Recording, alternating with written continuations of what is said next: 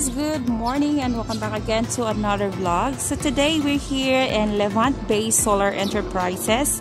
As what you uh, remember, this is the company that give us a solar, the solar light, the one on the top. See that one? They're the one who give us the solar light. So uh, I just give them a visit today and we're gonna check some of the solar that they have and then also I'm gonna show you guys what are the available solar that they have? So you might uh, interested on their solar panels or solar lights or what they have inside okay? So let's go inside and check what they have. Alright I'm still outside and I just give you a quick uh, video on this one. So this is what they posted outside and they have their contact number in the bottom. If you guys are interested you can just call that one and just tell them that you got that number from me on my video. And this area is located in Abukay. Ayan so it's beside the road. Hindi siya doon sa main highway ha sa paluuban siya. Ayan ito yung kanilang sasakyan sa labas. Ito makikita mo tong San Vicente Fermini Kono ayan kung ga, ito yung galing sa Balanga, ito yung galing sa uh, papunta doon sa Manila. Ito yung kanilang front door. Pasok na tayo. Ayan. Levant Bay Solar Product and Services. And I think they do installation also as well. Once you buy their products. Okay, pagpasok mo, ito yung makikita mo. Si Sir Richard and then si Charlie. Okay.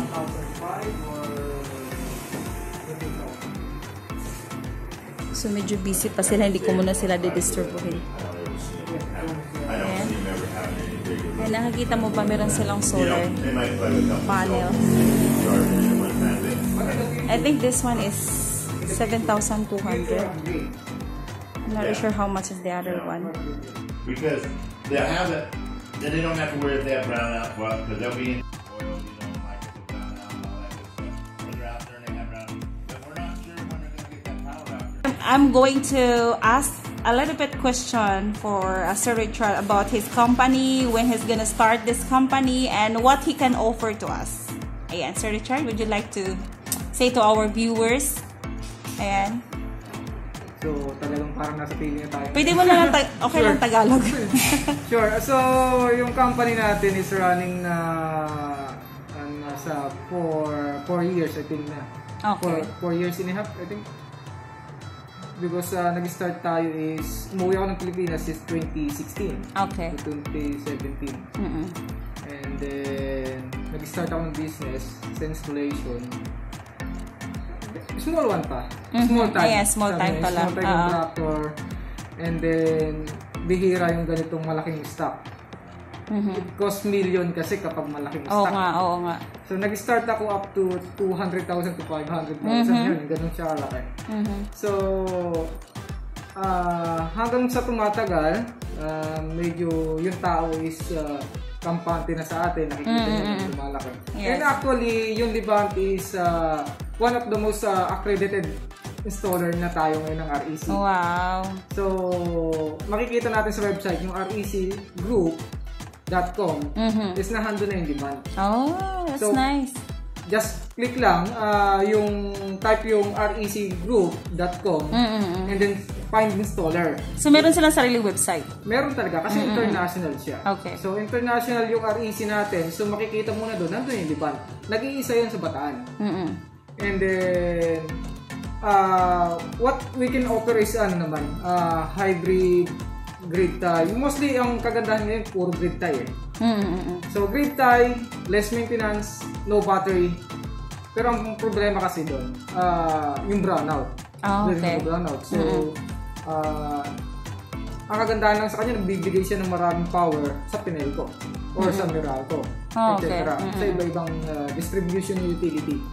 So, yung grid tie na yun, nakapag-benefits tayo ng mas matagal. Long life kasi yun eh. Mm-mm. So, wala kang papalitan.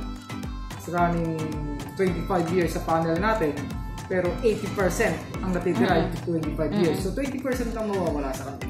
So mm-hmm. still, uh, yung panel mo is kicking pa rin, nag-harvest pa rin ng uh, ganun siya, 80%. Mm-hmm. So, sa hybrid grid tie natin, medyo mas gusto rin ng tao, although mas mahal talaga. Mm-hmm. So, nakikater tayo ng ganun.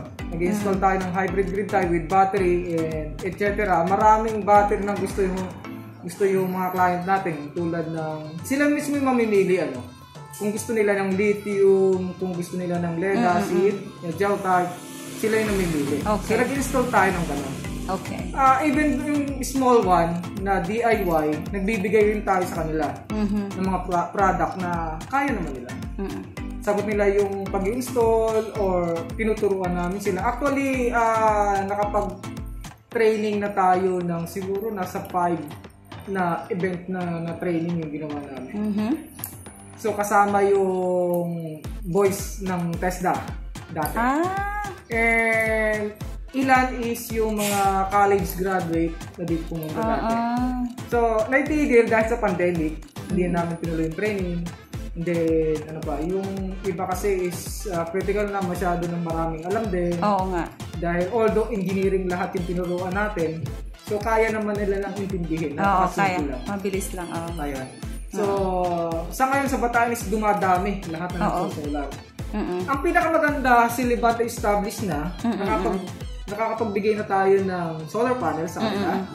Nakakapag-provide na tayo ng materyales. Ito maganda. Mm-mm. With, yung REC nga natin is uh, 25 years na warranty ngayon. Yung, uh, ano, uh, sa malit na panel sa DIY, do it yourself, um, makakapag-budget kayo up to magandang setup na yung 35,000. Oh. So, may Pwede... battery yun, may controller na, may inverter na, may solar panel na. So, And... maganda yung ganun. Makapag-start ka. Okay. Pero, Depende uh, pa rin sa ginagamit nila, di ba, na mga... Yes, pero starting, mm-hmm. maganda talaga siya. Oo. So, hindi na katulad dati na yung 35,000 mo is maliliit yung solar panel mo. Oo, oo, oo. Ngayon yung 35,000 mo is malalaki na yung panel. Ah. So, yun ang kagandahan sa kanya. Dahil mas mahal noon. Mm-mm. So, starting 35 up to 45 to 60, Mm-mm. pwede kayo mag-start doon. Even wow. though yung sa mga kanya, 28,000, isang battery oh. lang, isang battery pwede. Mm-mm. So, ayun guys, na ano niya, meron na kayong idea kung magkano yung babudgetin niyo pag gusto niyo magpa-connect or magpa-install ng solar panel. So, sir, would you like to tell them uh, ilang branch na kayo or saan kayo nakalocate ngayon para alam naman nila? Uh, uh, ito, ito, itong area natin, yung West Calagiman. Mm-hmm. Na, nasasakop tayo ng West Calagiman, uh, na. Samal Bataan. Mm-hmm. So, ito yung, actually, yung boundary na andyan lang. Ah, okay. Yung galing dating araw ko. And then, we have the bigger one, yung ating Supermax sa Valenzuela. Mm-hmm. Siya yung pinaka sinasandala natin ng pinakamalaking uh, uh, mm-hmm. company. Mm-hmm. Pero uh, ano doon, uh, yung ibang company is connected din sa amin in one. Kasi si Supermax ay nasa main namin, nasa ibabaw. Mm-mm. And then meron tayong HHO2, uh, HHO na kay Brother Dance. Mm-hmm. Uh, Solar Kinetic in Cavite. Mm-mm. At meron tayong Bulacan kay Beaver mm-hmm. Engineering. Mm-hmm. So yun yung mga team na connected sa amin. Ah, that's sa good. Supermax. Mm-mm, that's good. So, any any area na kailangan ng installation, Mm-mm. hindi man kami makapunta, sila yung pwede. Mm. Ah, sila yung pwede. Ah, okay. So, so, ito ay hindi naman ano lang uh, kasi one ano eh one one supply. Ah, okay. So same price, uh, same quality installation. Mm-hmm. So may bibigay yun ng bawat isa sa amin. Okay. So, handong ano. So, do you have any uh, Facebook or Instagram that they could uh, visit, sir? Yung pwede uh, nilang puntahan at i-check para makunta kayo. Nandun naman lahat. Ito, uh, pinakamadali yung ating uh, uh, page ng Libant. Libant uh, oh, oh, Base Solar Enterprises. Mm-hmm. So, yun yung madaling hanapin. And then, another one is yung ating supermax.com. Okay. Sa web na andun lahat yung logo, andun yung pagmumukha namin, no? Yung, ah, yung picture namin. Ah. so, pwede nyo makita lahat. Okay. So, pati yung mukha ng ibang installer na kagroup natin, yung ating connected, na connection ng mga uh, installer na handle din. So makikita nyo na uh, pwede kayong mag-select doon Mm-mm. at madali nyo kami makita. Oh, ayan na guys, meron na kayong idea kung saan kayo saan niyo sila hahanapin. Ayan, ah supermax.com, Supermax yun yung com. website nila. And Nandun daw yung mga Levant Base Solar. Yeah, Levant Base Solar nasa Facebook. Ayan. So, ah meron ka bang ma pan, ah, ma-encourage mo ba sila, sir? Would you like to encourage our viewers para sa ma ano sila na bumili ng solar? Ayan. Yeah. Actually, uh, i-trans naman na yung solar. Mas maganda sa environment. And Ah. then, ano, uh, mas cost-effective talaga siya. Mm-mm. And then, ma-encourage ang tao dahil bumababa yung bill. Oo. Proven. Oo. And some of Super uh, our client is negative and zero bill. Oh, wow. Ano, yun yung nangyayari. So, Yes. ah, hindi hindi sila hindi ako makakapag-testify nun kundi yung Client. sarili nila, Oh, yung client, client oo. nila. Pero masaya sila. And that's what we want also guys na talagang we as much as possible we want solar because we could save and then Yeah, yeah. 'di ba we could save and ano friendly sa We environment can protect natin. environment Yeah. also. So ayan nga, yun lang muna ang maitatanong natin kay Sir Richard. Until next time and thank you for the uh, little time that you spent to me, sir. And God bless you. And ayan guys, I would like to end this vlog and see you in my next video. Thank you for watching.